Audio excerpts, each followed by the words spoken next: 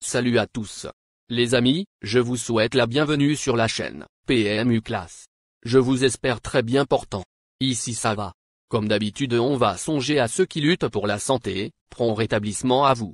Les amis, on va faire le pronostic quintet de ce mercredi. Nous prenons la direction de l'hippodrome de Cagnes-sur-Mer, où le meeting d'obstacles bat son plein. Le prix de la Bourgogne, deuxième épreuve du handicap divisé du jour, sera support du tierce écarté quintet plus ce mercredi 27 décembre 2023. Quatrième course de cette réunion principale, ce tournoi a réuni 14 sauteurs sur un parcours de L long de 4000 mètres. Le départ se verra donner aux alentours de 13h55. Une fois n'est pas coutume, la seconde partie du handicap est la compétition phare de la journée. Au moment de la découpe, il n'y avait pas assez de concurrents ayant une valeur permettant d'avoir un quintet suffisamment riche en partant. Du coup, nous avons droit à une course modeste, susceptible de nous offrir quelques surprises. Chers amis parieurs, nos chevaux incontournables du quintet du jour les palmarès des chevaux, les avis des entraîneurs, des jockeys, et des spécialistes du PMU, à suivre en détail juste après cette courte pause musicale. En tête de notre sélection quintée le numéro 12. Normande, aura notre préférence. Résumé de sa carrière. Au total 31 courses disputées, auxquelles il signe 5 victoires et 13 placés. Irréprochable dans les courses à réclamer, cette brave jument a récemment montré qu'elle pouvait également briller dans les handicaps. Deuxième sur ce parcours l'hiver dernier, elle va en outre trouver un terrain très souple à son goût. Plus d'informations sur son état actuel à l'entraînement avec Michael Seror. Il dit. Normande, 12, ne nous apporte que des satisfactions. Cette fois, elle va retrouver Cagnes-sur-Mer, un tracé qu'elle connaît. En pleine forme et compétitive à cette nouvelle valeur, j'en attends logiquement une belle performance. On enchaîne avec notre deuxième base solide du quintet de ce mercredi. Numéro 4. Dépende. Résumé de sa carrière. Au total 19 courses disputées, et compte 3 victoires et 8 placés. Après deux succès dans des handicaps moins huppés, ce Hongre de 7 ans a chuté dans le prix de Cardiff, alors qu'il semblait compétitif pour les places. Il a moins de marge désormais, mais cette sortie lui confère une belle chance. On se renseigne davantage avec Hervan Graal. Il dit, Dépende, 4, ne semblait pas battu lors de sa chute dernièrement. Tout va bien, il est très bien rentré et a très bien récupéré. Certes, sa marge au poids s'est réduite et malgré les pénalités, je le crois capable de bien faire. Il a sa place à l'arrivée. Cher parieur, la dernière minute du quintet de ce mercredi. Numéro 5. Fou du Brésil. Résumé de sa carrière. Avec ses 32 sorties, il signe 6 victoires et 16 placés. Titré sur le stiple cagnois, ce représentant de Yannick Foin a fini en retrait à l'occasion de sa découverte des balais azuréens, le 11 décembre. Cela dit, il a longtemps été arrêté et manquait probablement d'un parcours. Attention. Plus de précision avec Fou du Brésil, 5, se remet progressivement dans le bain. Il n'a pas démérité dernièrement et, s'il a encore progressé sur sa dernière course, il devrait être capable de se placer dans un tel Les amis, soyez sympas. Fais ce simple geste encouragement, ça nous donne la force dans la recherche. Je termine la vidéo avec mon champ réduit. Restez jusqu'à la fin de la vidéo pour découvrir mon champ réduit. Les amis, suite de la sélection pour compléter notre ticket. On entame avec notre trouble fête incontournable du quintet de ce mercredi. Numéro 13. Best Ball. Résumé de sa carrière. Au total 13 courses disputées, dont 0 victoire et 10 placés. Comme bon nombre de ses compagnons d'entraînement, ce fils de Le Havre a parfaitement lancé son meeting. Deuxième de la course clé du 11 décembre, sur ce parcours, il fait logiquement partie des candidats au podium.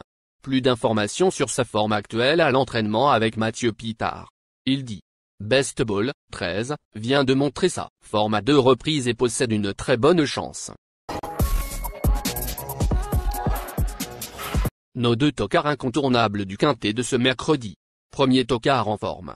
Numéro 9. Volko Gelois. Résumé de sa carrière. 29 courses en jambes, auxquelles il signe 6 victoires et 15 placés. Après un an d'absence, ce pensionnaire de Joseph Vanage hier monte en puissance. En dernier lieu, dans un handicap plus huppé, il aurait fait mieux que cinquième sans une faute à l'ultime. À une telle valeur, sa chance théorique est de premier ordre. On écoute Joseph Evana. Il dit. Volkovelois, 9, a été pris de vitesse durant toute la course dans un tout petit lot. Il est bien mais ne pourra pas avoir de décharge, comme c'est le quintet. Cela me paraît compliqué. Deuxième tocard en forme. Numéro 11. Château Yogurt. Résumé de sa carrière. Au total 8 courses disputées, auxquelles il n'a pas encore signé de victoire et s'y placé. Pris en note le 4 décembre, ce fils de Rajaman a encore fait bonne figure dans le prix de Cardiff, la course clé. Il vaut un tel lot et n'est jamais sorti des 5 premiers à Cagnes-sur-Mer. Les amateurs de Quintet Plus peuvent le considérer comme une base. Plus de précision avec Jean-Raymond Breton. Il dit.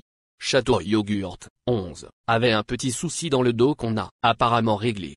Il devrait être plus régulier dans ses sauts par rapport à ses deux premières sorties du meeting et pouvoir utiliser sa pointe de vitesse pour finir. Il est dans sa catégorie. Je vous conseille de ne pas l'enlever des cinq premiers. Notre outsider séduisant du quintet de ce mercredi. Numéro 3. Alit. Résumé de sa carrière. Au total 17 courses disputées, et compte 2 victoires et 10 placés. Après une probante deuxième place sur ce parcours, dans un bon lot, cet attentiste a joué de malchance dans le prix de Cardiff. Dans son jardin sur la côte d'Azur, il détient une première chance théorique, même s'il ne pourra pas bénéficier d'une décharge cette fois. Plus de précision avec le reporter. Il dit. Alit, 3, ne doit pas être jugé sur sa plus récente tentative. Il s'était auparavant bien comporté et a pour lui de, très, rarement décevoir à Cagnes. Certes, il doit porter du poids, mais il mérite donc d'être repris en confiance, car il a tout à fait le droit de terminer à l'arrivée. Notre surprise évidente du quintet de ce mercredi. Numéro 8. Fred. Résumé de sa carrière. Au total 25 courses en jambes, dont 2 victoires et 16 placés. Cet attentiste alterne les deux spécialités avec une certaine réussite. Contrairement à sa dernière sortie en stiple, il sera muni de years australiennes, artifice avec lequel il se montre régulièrement performant. À l'issue d'un bon parcours, il a son mot à dire pour les accessites. On écoute Sylvain Drey. Il s'explique. Fred, 8, a été pris de vitesse durant toute la course dans un tout petit lot la dernière fois. Il est bien mais ne pourra pas avoir de décharge, comme c'est le quintet. Cela me paraît compliqué.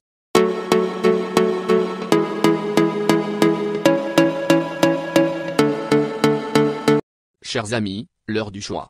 La recherche des meilleures chances du jour. Chers amis parieurs, la leçon du passé, vos vieilles techniques, vos différentes remarques, sont à réviser à l'heure du jour. Le résumé de vos connaissances en PMU, plumes et techniques, sans votre chance, vous donneront une large chance de passer à la caisse. Les improbables du quintet. Le 7, le 1. La sélection quintet du. Le 3, le 12, le 13, le 4, le 9, le 8, le 11, le 5.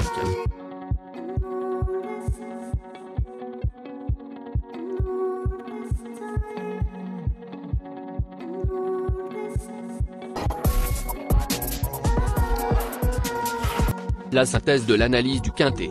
La minute de la vérité.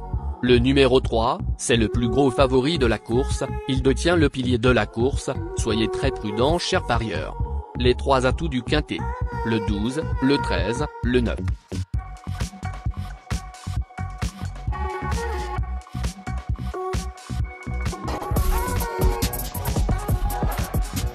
Nos propositions de tickets du jour, chers amis parieurs. Mon champ réduit à 50%. Ticket de base.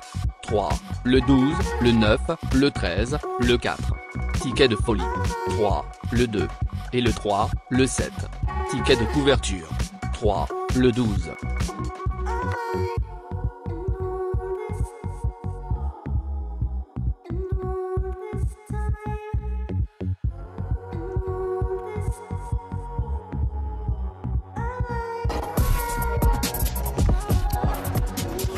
Mon multi 5 du jour. Le 3, le 9. Associé au grand carnet. 3, le 12.